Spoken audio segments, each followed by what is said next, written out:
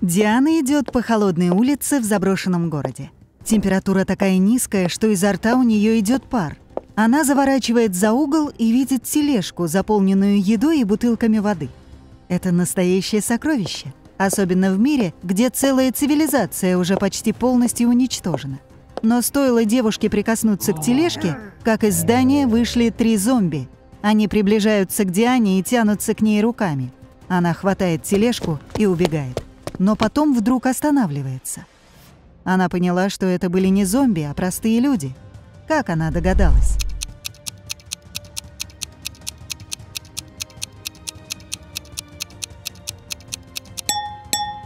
У всех зомби изо рта идет пар. Значит, они дышат. Они живые.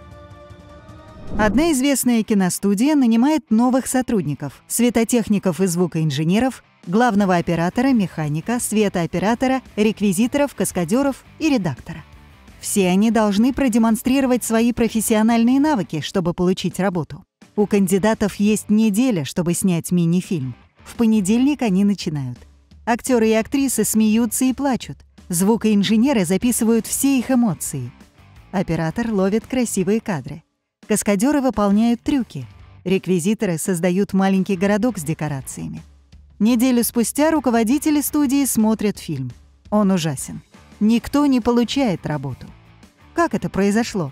Почему они не смогли снять хороший фильм?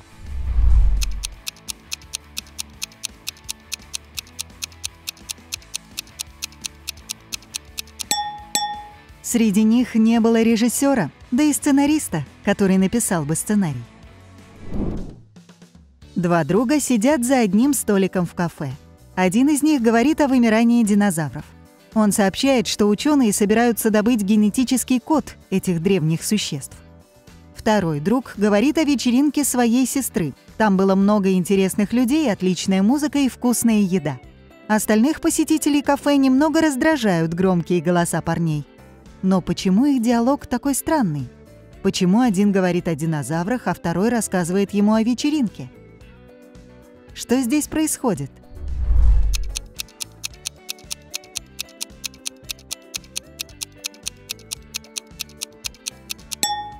Парни разговаривают не друг с другом.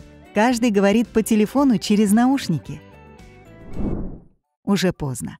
В одном банке в очереди у банкомата стоит три девушки. Первая получает несколько купюр, вторая смотрит по сторонам, а третья девушка что-то печатает на телефоне. Кто из них вор?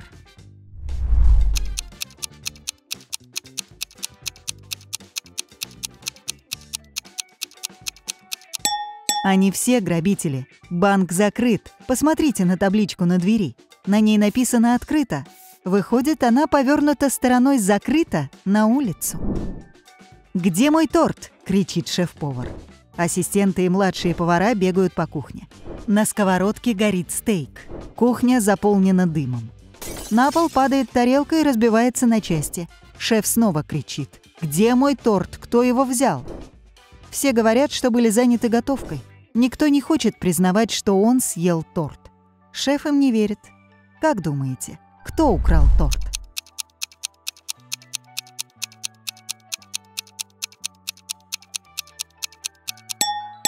Никто. Торт в духовке, видите? Ваня сидит в холодной камере. У него под ногами голая земля. Камере есть окно, но через него невозможно выбраться, так как оно расположено слишком высоко. Нет ни лестницы, ни стульев, только лопата. У Вани нет ни еды, ни воды, ему надо выбраться оттуда через два дня. Но туннель рыть нельзя, так как стены слишком толстые и уходят глубоко под землю. Ваня устанет задолго до того, как пророет путь к свободе. Так как же ему выбраться?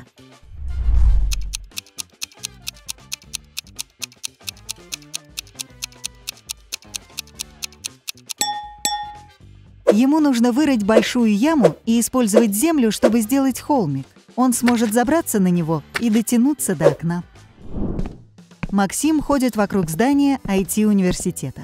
За ним идут три человека и что-то обсуждают. Максим заходит в зал голограмм. Люди заходят внутрь вслед за ним. Максим садится в кресло, а три человека идут на сцену, не прекращая разговаривать. Некоторые из них — голограммы. Но кто?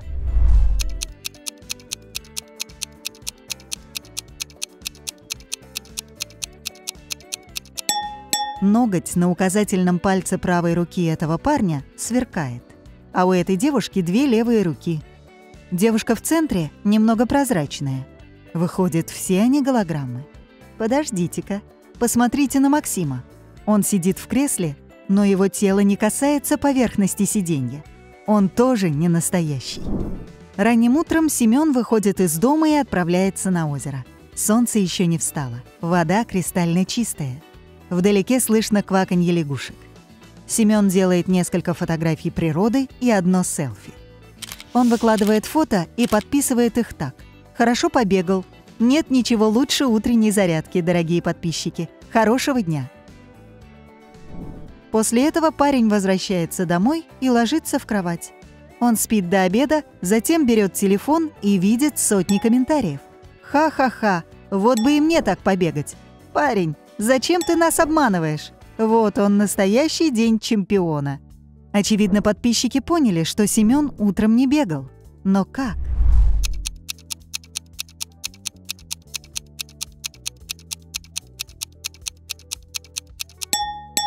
Он написал, что только что побегал, но его лицо не красное, и он совсем не вспотевший. На одном далеком континенте четыре разных государства – у каждой из этих стран своя эмблема с одним простым символом. В каждой стране живет одинаковое количество людей. Девять обычных граждан и одно чудовище. Одна королева, один король и один принц. Иногда в государство заглядывают два шута. Что это за континент?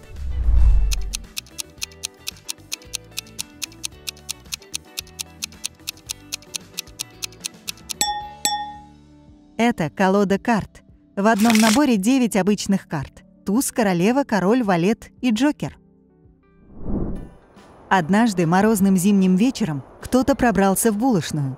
Когда пекарь пришел к зданию утром, он заметил, что замок был сломан.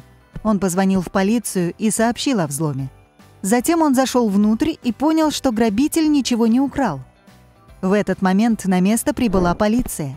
Пекарь сказал, что ничего не было украдено, но полицейский осмотрел помещение и заявил, что кто-то все равно нарушил закон. Что здесь произошло?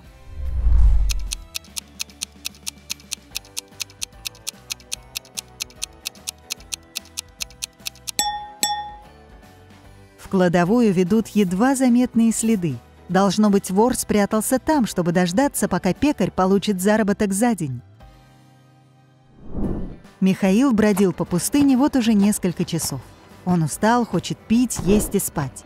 Вдруг он замечает большой дом, стоящий на горячем песке.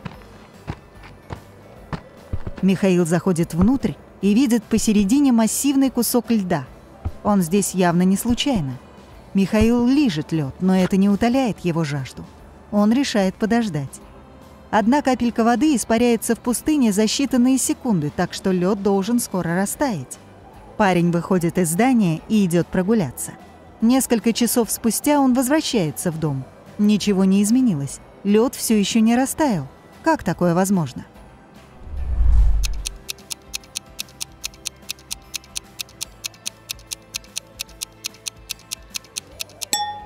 Под потолком висит кондиционер.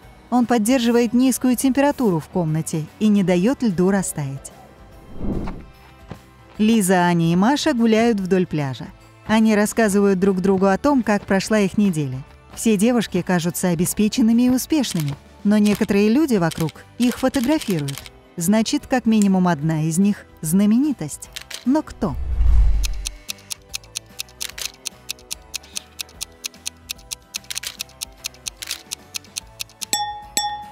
Это Аня. Смотрите, у этого парня футболка с ее фотографией. Матвей выходит из крупного торгового центра. Он достает из кармана телефон и случайно его роняет. О нет, экран треснул. Матвей садится в такси и едет в сервис по ремонту телефонов. Он видит много магазинов, каждый предлагает свои услуги. Замена батареи, лучший сервис в городе, починим ваш микрофон и десятки других. Помогите Матвею выбрать нужный сервис.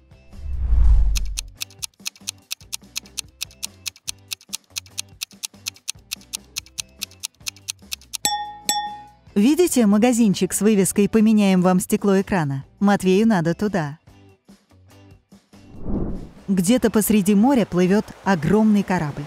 Люди на борту веселятся. Они разговаривают, пьют коктейли, едят вкусную еду и наслаждаются красивыми пейзажами. Это пассажирский лайнер. У него нет никакой секретной миссии. Пассажиры — обычные люди с обычными профессиями. Они обсуждают погоду, новые театральные постановки, музыку, книги и путешествия. Все они кажутся умными и образованными. Странно то, что ни один из них не делает фотографии и не выкладывает их в сеть. Ладно, может, интернет не работает так далеко от берега. Но почему никто не делает селфи?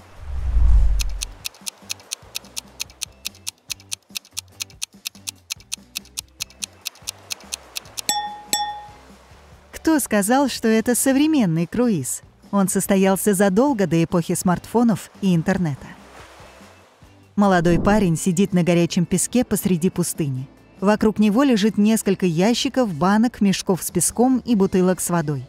Парень смотрит вверх. Он видит огромный воздушный шар, улетающий все дальше и дальше. В гондоле два человека. Они машут ему руками и желают удачи.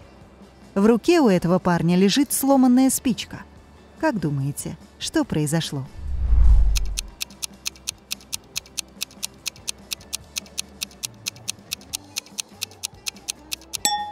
Три человека летели на воздушном шаре над пустыней. В какой-то момент у них начало заканчиваться горючее. Чтобы продлить полет, они решили сбросить груз. Затем они поняли, что еще им придется сбросить одного человека. Благодаря этому вес шара уменьшится, и он будет потреблять меньше топлива.